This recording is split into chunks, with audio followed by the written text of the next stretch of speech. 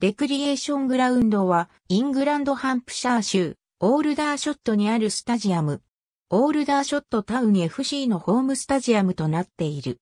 現在は、スポンサー名を冠し、ザイブスタジアムアットザレクレーショングラウンドという名称になっている。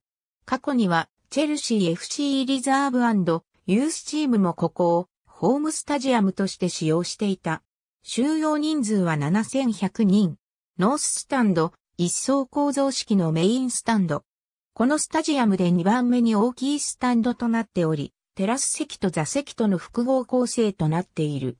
収容能力1540、ドレッシングルームやメディアセンター等が、スタンド外にはオフィスがある。イーストバンク、一層構造のゴール裏スタンド。収容能力4180。このスタジアムで一番大きいスタンド。サウススタンド側にアウェーサポーター席が設定されている。